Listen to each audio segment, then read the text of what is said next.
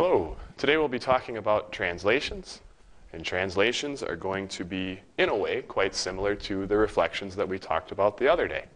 Uh, you're still going to have pre-image points. Uh, you're still going to call them A or B or C, Q, or whatever. Uh, we're still going to want to plot those on a coordinate plane. And we're still going to do something to this A and this B and this C to turn them into A prime and B prime and C prime. But instead of being reflected over a line, we're going to be given a more direct command called a function that will tell us what to do to each point to make it arrive at its final destination. Let's start by plotting the pre-image points. 3, 5, point 8 is 3, 5, and that goes in the first quadrant, right about there. Point B is at 1, negative 2. That's going to be in the fourth quadrant. Point C, negative 3, 0, ends up smack dab on the x-axis.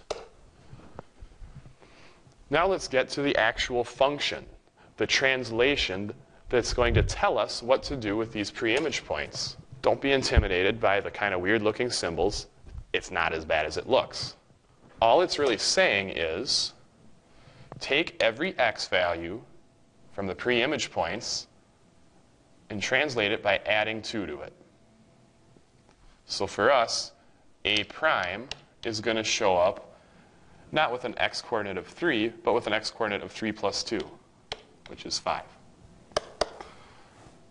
For the y value, you're going to want to subtract 1 from every y coordinate.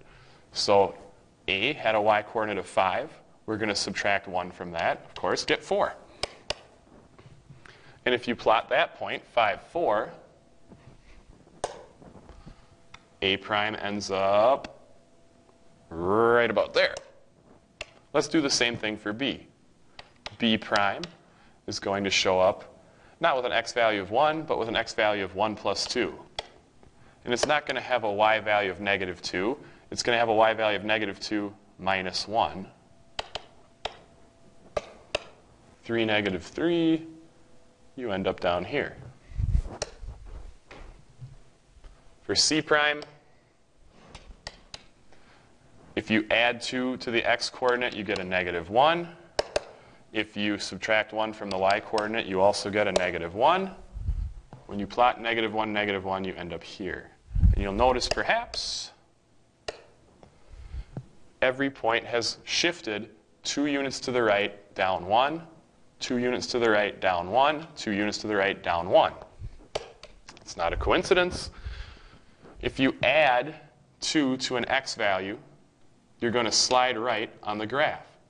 If you subtract from a y value, since the y's go up and down, you're going to go down. That's why we went right 2, down 1 every time.